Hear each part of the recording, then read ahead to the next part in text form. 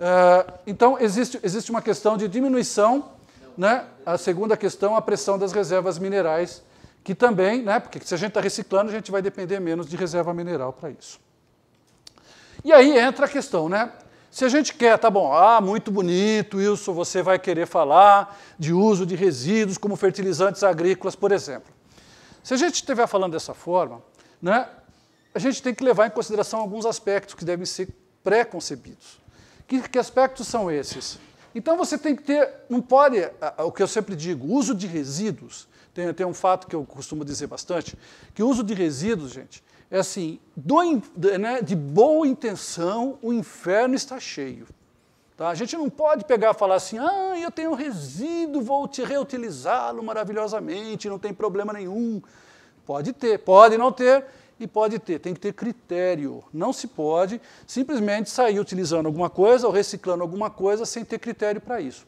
Mas quando a gente pega fala ainda de depositar algum resíduo no meio ambiente, no caso de utilização dele como fertilizante, por exemplo, a gente tem que levar em consideração aspectos ambientais que estão envolvidos e também aspectos de segurança social. Então, questão de toxicidade, para ver se ele tem, existem alguns elementos tóxicos que sejam fixos, lixiviáveis, né? É, se existem micro-organismos patogênicos nesse, nesse tipo de resíduo, qual que é o tipo de dosagem que vai ser utilizado, qual a taxa de aplicação que eu posso colocar, qual a dose, a dose acumulada que pode ser utilizada durante vários anos. Né?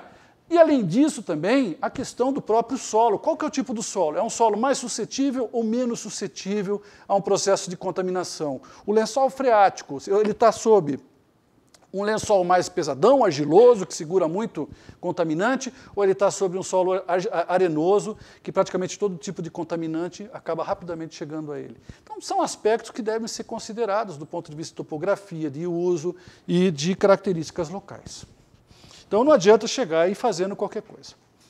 Da mesma forma, né? então só para dar um exemplo, não adianta eu chegar, por exemplo, e falar assim, não, olha, o esterco bovino, ele é maravilhoso, né? ele tem é, 4 a 5% de nitrogênio, né? em torno de 3% de nitrogênio amoniacal, a planta acha isso ótimo, absorve rapidamente, facilmente. Nossa, então vou, vamos colocar um monte de esterco bovino fresco no solo para usar como fertilizante.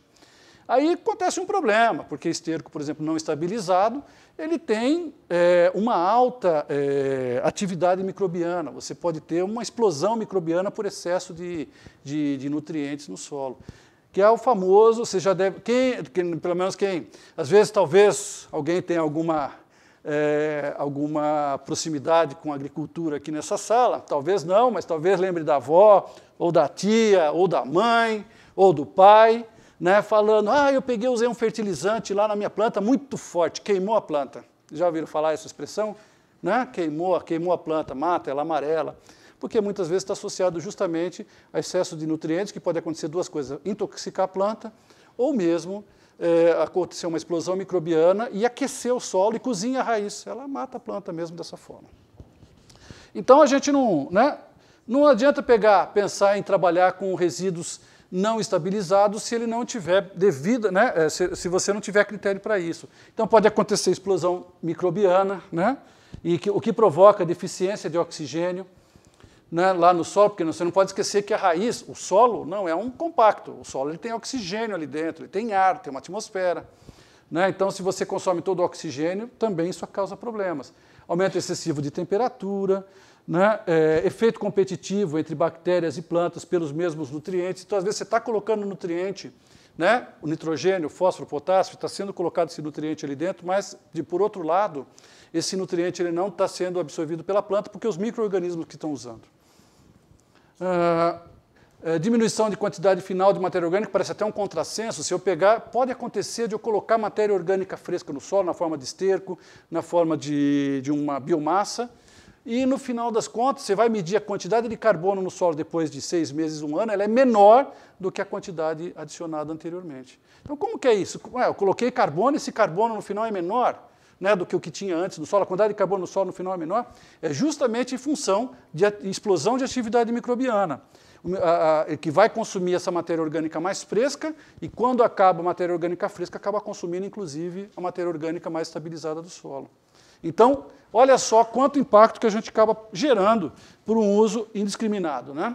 E também a questão de doenças ou pragas. Falar alguns exemplos né, de alguns trabalhos que a gente tem feito nessa linha né, a respeito da, de reciclagem. Então, um deles né, é a parte de processamento de compostagem, que tem a ver, quem não sabe o que é um processo de compostagem, é um processo aeróbio. A gente tem micro-organismos aeróbios que se alimentam né, que se alimentam da matéria orgânica fresca, né, geram calor e no final sobra matéria orgânica estabilizada. Basicamente é isso que a gente tem dentro de um processo de é, compostagem. Então essas leiras, periodicamente, elas têm que ser removidas, né, você tem que pegar uma enxada e mover, é um trabalho relativamente árduo. Existem algumas pequenas máquinas também que podem fazer isso. Então, imagina, essas leiras são exatamente essas daqui. Essa número 1 um aqui, é uma leira que só tinha é, é, poda de árvore, mais nada. Tá? Material bastante fibroso. E essas outras, né, essa daqui, essa daqui leira 2, leira 3, no final, que é início e fim. 4, 4, 5, 5, 6, 6. A 5 e a 6 são duas repetições. Mas aqui é esterco bovino, esse daqui é bagaço de laranja, e esse daqui é torta de filtro de usina de açúcar, que a gente misturou também com é, poda de árvore. Então, se pode notar que, dependendo do tipo do material, o volume da leira modificou, a cor dela também vai modificando. Então, são processos que a gente chama de umificação. E o que, que acontece? Como é que isso acontece? Como eu falei, é um processo térmico.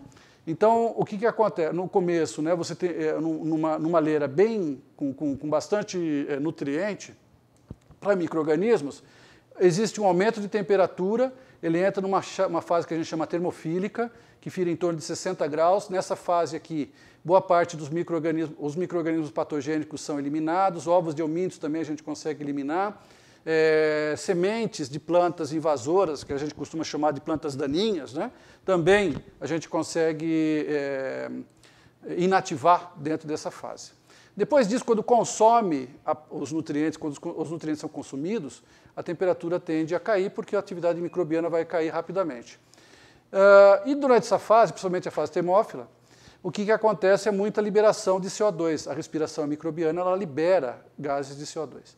Então, aqui só para você, para mostrar para vocês um pouquinho a, a leira 2, que é, que é aquela que eu falei que tinha esterco bovino, né, a, a, o perfil da temperatura com o tempo.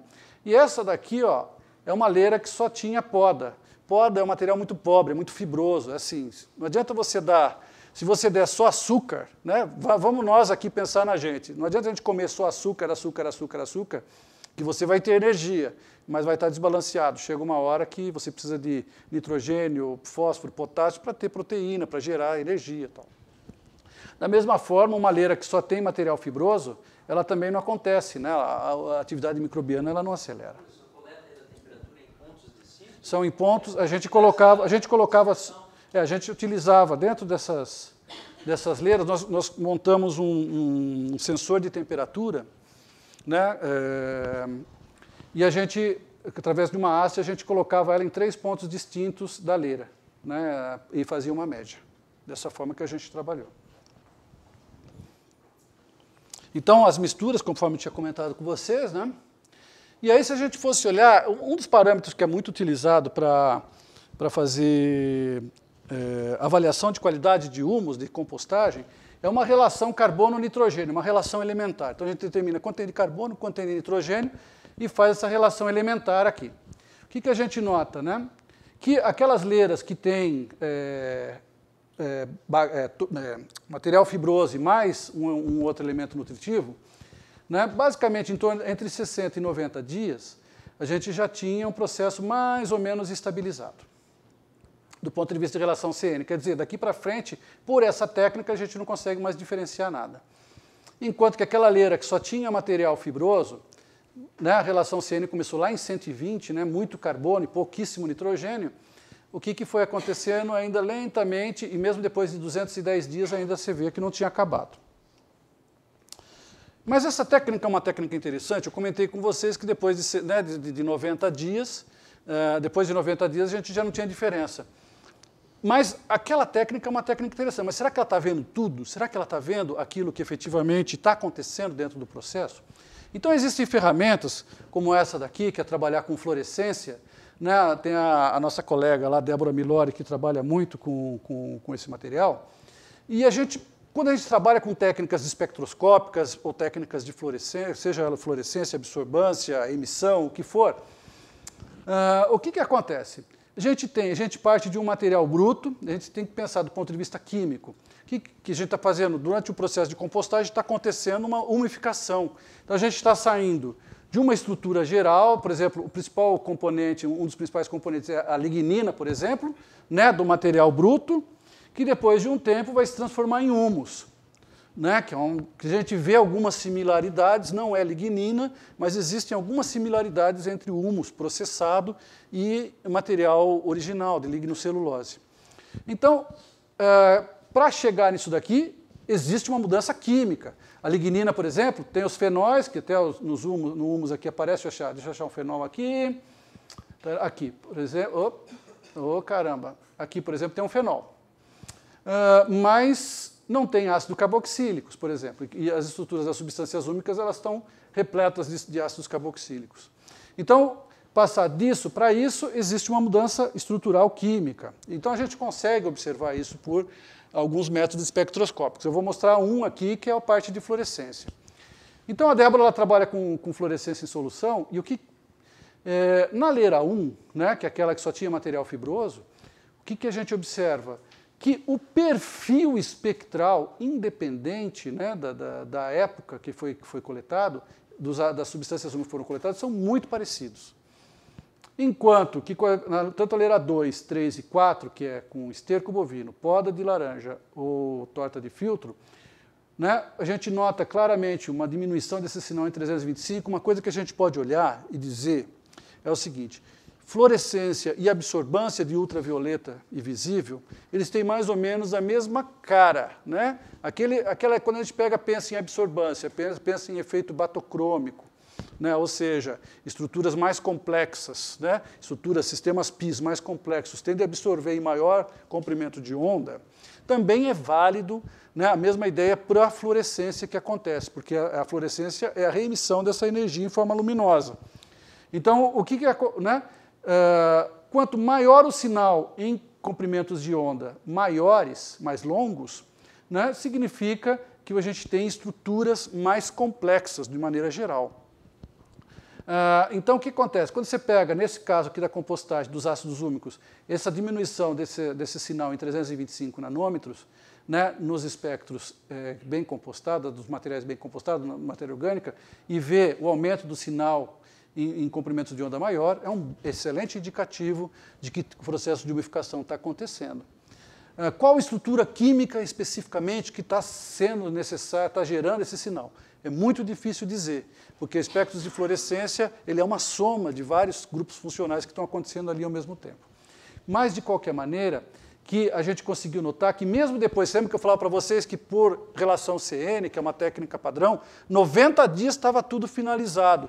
E a gente observa, por, esse tipo de técnica, por exemplo, muito mais sensível, que o processo continuou mesmo até 210 dias. Ou seja, existem processos subsequentes que trabalham numa temperatura ambiente já, numa velocidade menor, que a gente não consegue mais captar por relações elementares, mas que uma análise é, estrutural ela revela para a gente sem problemas. Uh, então, aqui só para mostrar, né, se a gente fosse ver a leira 1, né, o comportamento dela com relação a uma medida de fluorescência, basicamente um decaimento linear, mas quando a gente compara a relação CN à fluorescência né, é, para uma leira que tem uma característica de compostagem adequada, a gente vê que, né, que a CN já estabilizou nessa região, entretanto, a emissão de fluorescência continua. Ah, então, assim, existe essa questão metodológica que é importante, ainda que está sendo ah, aprimorada. Outra, outra coisa assim que é bem interessante, a gente pega e fala assim, ah, muito bem, vamos tratar o esgoto. Toda cidade deveria tratar o esgoto que gera. Então as pessoas, muitas pessoas esquecem que da geração do esgoto, do tratamento do esgoto, se gera um resíduo sólido, que é o lodo, lodo de esgoto. né? tem gente que chama de biossólido. Uh, biossólido, gente, é, como que eu posso dizer, é um nome bonitinho para uma coisa feia. Tá? É, é lodo de esgoto. Tá? É, é, a gente não pode deixar de dizer. E a gente fez um estudo, por exemplo, de aproveitamento desse lodo de esgoto com é, resíduos de poda. Isso aqui aconteceu lá na, na, Riviera de São Lourenço, um apoio que a gente teve com a sua bloco, de, pegar, avaliar como que seria esse material, como que a gente poderia trabalhar de maneira conjunta. A gente desenvolveu um processo lá que era basicamente um sistema de compostagem, um sistema aeróbio, onde a gente tinha uma descontaminação, e depois a gente fazia um sistema anaeróbio para fazer um processo de maturação desse composto. Ah, então, por quê? Porque o lodo ele é rico, né? É, o, o, lodo de esgoto ele é rico da mesma forma que esterco, ele também é muito rico em nitrogênio, ele também tem uma quantidade de potássio razoável. Né? Então, ele é, é uma fonte interessante que também deve ser pensado. Então, foi feito o processo, a gente fez todo o acompanhamento microbiológico, né? conseguiu eliminar uh, todo o material. Isso daqui só para, né, se a gente fosse pensar só a parte anaeróbia, aqui a parte aeróbia, anaeróbia, então a gente fez todo o acompanhamento do perfil térmico disso, fez toda a avaliação no, né, de, de, elementos, uh, tanto de carbono quanto de elementos uh, que são considerados nutritivos para as plantas. Aqui deu uma, uma, perdeu um pouquinho a formatação, mas, por exemplo, nitrogênio aqui 7%, 6%, 2%. Uh, e aí nós fizemos alguns testes, só para vocês verem como, como são. Fizemos análise também de elementos é, potencialmente tóxicos. Né? Esse é um lodo de esgoto que é eminentemente residencial, é, uma, é, um, é um, caso bastante é, específico aqui no Brasil, é, porque a Riviera de São Lourenço é um condomínio fechado, lá na, na, no litoral paulista, e ali não tem fonte nenhuma de contaminação industrial. Porque um, um dos problemas que existe da, da, da, utilização do lodo de esgoto urbano é justamente a questão de contaminação não programada, principalmente de indústrias de fundo de quintal. Essas fabriquetas de, fundo de quintal que muitas vezes descartam muitos resíduos, né, inclusive galva, é, algumas fábricas de galvanoplastia. Hoje em dia a CETESB está muito em cima disso. Aqui no estado de São Paulo até é mais difícil de você ver uma fábrica de galvanoplastia é, que não seja controlada pela CETESB, mas outros estados isso acontece com bastante. É, é muito comum encontrar. E aí, o, o, o que, que acontece? A gente pegou, fez uns testes, né? pegamos aquele composto, um dos compostos que nós geramos, e nós fizemos uma comparação. Isso daqui é um solo bastante arenoso, pobre né, em elementos nutritivos, e nós fizemos, adicionamos quantidades diferentes daquele composto que a gente gerou, daquele, daquele fertilizante. Essas plantas têm exatamente a mesma idade, elas foram né, é a mesma variedade, é tudo igual. A única coisa que variou é a quantidade de composto que a gente adicionou lá dentro. Ou seja, nutriente que estava dentro daquele elemento, daquele material que seria descartado para um aterro sanitário. Hoje o que se faz basicamente com o lodo de esgoto é desaguá-lo e mandá-lo para um aterro sanitário. Outra coisa também, que aí a gente tem que entender melhor até como é que são esses processos, que a gente trabalhou já com, é, naquele mesmo experimento, a gente trabalhou também com eucalipto, que eucalipto é a forma, existe uma norma chamada, uma norma da resolução do CONAMA, é uma resolução CONAMA chamada 375, número 375, que trata especificamente do uso de lodo de esgoto. E a, a, assim, o que eles mais recomendam é para o uso de culturas não alimentícias. Tá? Então aqui, por exemplo, eucalipto, a gente pegou, fez uh, uma planta né, num solo sem, aplicar, sem colocar o, o nosso fertilizante e uma planta com 30% do fertilizante, né, só para comparar o sistema radicular dessas plantas, como modificou. Por que disso? Isso ainda é muito fruto de, de, de é, especulação. Existem né, uh, discussões que falam que, do ponto de vista, a, o sistema radicular ele melhora uh, por uma questão simplesmente de disponibilidade de nutrientes. Existe uma outra vertente, é, principalmente é, defendida por pesquisadores de Israel, que dizem que as substâncias, que, que o humus né, formado, ele tem uma característica como se fosse algo parecido a um hormônio né, e que favorece o enraizamento de plantas.